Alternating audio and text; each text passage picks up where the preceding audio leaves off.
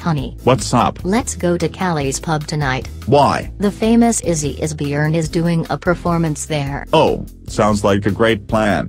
But who will be Dinky's babysitter? I'm gonna ask Dory as a babysitter. Alrighty then, let's have some good quality time together tonight. Samu hier, was ist los? Hi, it's Eve. Can you ask Dory if she wants to babysit Dinky tonight? Franky and I are going to Izzy Isbyrne's performance. I'm afraid Dory can't babysit Dinky. She and Paul are going to Izzy Isbyrne as well. Oh, okay, thanks anyway. Now welcome. Do I look okay, Paul? You look stunning, Dory. Thank you. What time will Isbyrne's performance kick off again? Don't worry, it's way too early to go. I thought Dory and Paul would be here too. They should either be here in a moment or it's one of Samu's sneaky little jokes again. Oh snap. There's Izzy. The show's gonna kick off right now.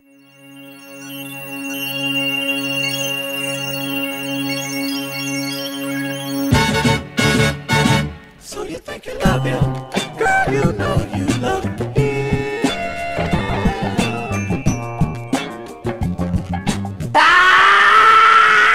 Are you sure that we're not late for the show? Oh, it has already started. But hey, who would ever look at such boring crap? Performance art is not real art. Oh, you fucker. Why did we even go to see this utterly deluded witch perform her fake art? I don't know, honey. It's free entrance anyway. Let's just go home. Uh-oh. You two are not going anywhere until I am done performing. I'm gonna block the door while I go on performing, and when I'm done, you can go home.